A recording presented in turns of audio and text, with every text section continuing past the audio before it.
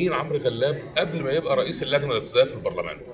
طيب آه، النائب عمرو غلاب رئيس اللجنة الاقتصادية أنا دخلت البرلمان 2016 آه، إحنا كنت أصلا أنا أصلا محاسب قانوني واشتغلت آه، نائب رئيس مجلس إدارة مجموعة شركات.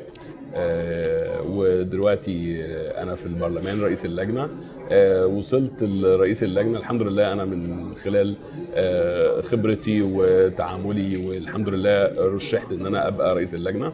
الحمد لله إحنا في خلال فترة آه، بسيطة آه، اللجنة قدرت تطلع بعض الت- التشريعات الاقتصادية اللي هي كنت أعتقد إنه كان في إطار الإصلاح الاقتصادي. كان لازم مجموعة من التشريعات تطلع. وشاركت في آه، مشاريع في لجان أخرى.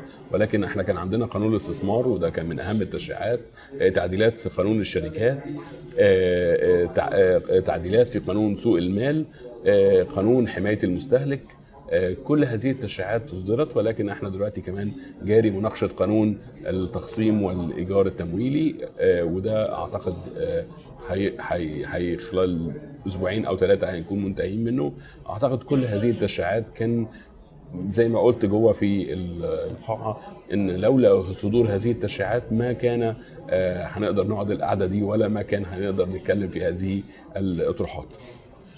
آه، يعني بيتاخد دايما على اللجنة الاقتصادية في البرلمان إنها بتصدر تشريعات آه، ضد مصلحة المواطن المصري.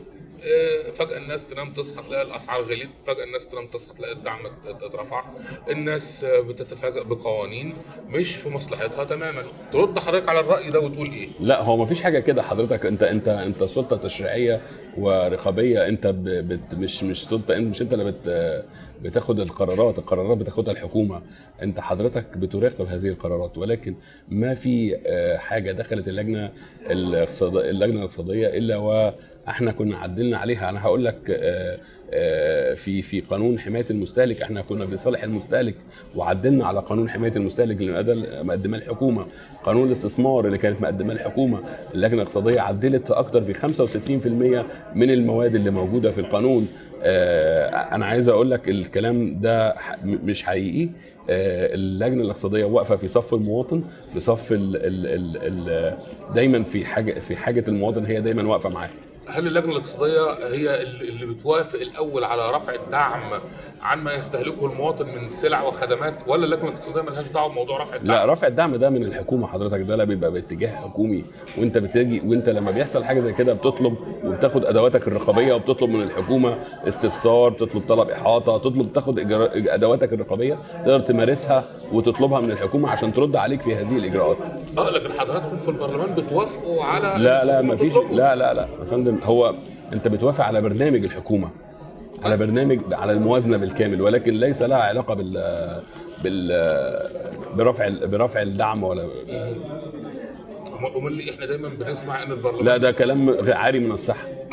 دي النقطة اللي نفسي حضرتك توضحها. لا ده كلام عاري من الصحة. مفيش ال- ال- ال- ملوش دور في هذا ال- الاتجاه. أنت عندك بتوافق على الموازنة العامة للدولة وبرنامج الدولة وتوافق عليها. ممكن تكون اللجنة الاقتصاديه في البرلمان قامت بإيه تحديدا في مصلحة المواطن المصري؟ يعني السؤال ده السؤال ده مش آه، على بايه؟ آه السؤال ماله حضرتك؟ آه لا السؤال مش مش مش مفهوم. طيب. السؤال مش مفهوم. أنا بس أنا عايز أسأل سؤال أنا عايز أسأل سؤال. هو أنت تبع إيه؟ المال؟ أنا صحفي جران المال. آه مش فأنا عايز أقول للناس إيه اللي اللجنة الاقتصادية في البرلمان؟ اللجنة الاقتصادية أنا جاوبت عليك اللجنة الاقتصادية هي كانت مسؤولة عن إصدار التشريعات والاصلاحات الاقتصادية اللي كانت مطلوبة في هذه الفترة علشان تقدر يحصل تنمية في البلد. لو ما كانش هذه صدرت لولا هذه التشريعات ما كانت صدرت ما كانش هيحصل ال ال الإصلاح الاقتصادي اللي أنت شايفه اللي بتشيد بيه كل المنظمات الدولية وكل الهيئات الدولية بتشيد بالإصلاح الاقتصادي في البلد. أنت الرانك بتاعك في هذه ال- ال- ال- المرحلة بيعلى كل شوية بيعلى وتصنيفك بيعلى. إزاي كنت هتقدر تعمل كل هذا كل هذه ال ال ال الإصلاح وأنت ما عندكش تشريعات؟ فأنت الدور اللي كان مهم جدا في هذه الفترة إصدار التشريعات التي تساعد على إصلاح الاقتصادي للبلد وحصولها على آه، آه، تطلع تصنيفها يعلى. تمام. آه، أنا فاهم تشريعات زي قانون لما. حضرتك بتصلح تشريعات في قانون الاستثمار لما حضرتك بتصلح ت- بتصدر آه، آه، آه، قانون حماية المستهلك لما بتعمل تشريعات في قانون الشركات اللي هو قانون 159 لما بتعدل قانون سوق المال ده هيشجع الاستثمار يعني هيشغل الناس يعني هيحصل رواج في البلد هيحصل إنه معد مستوى الدخل بتاع المواطن يزيد. كل ده انت مش حاسس بيه؟ لأنه تأثيره مش مباشر وتأثيره غير مباشر هيحصل مع الفترات اللي جاية وإحنا حاسين بيه في السوق وحاسين من حجم الاستثمار اللي داخل البلد في الفترة اللي إحنا فيها دلوقتي. إمتى ممكن يصدر قانون العمل الموحد؟ ده في لجنة القوى العاملة أعتقد إنه قريب إن شاء الله. ألف شكر شكرا. لحضرتك. شكرا.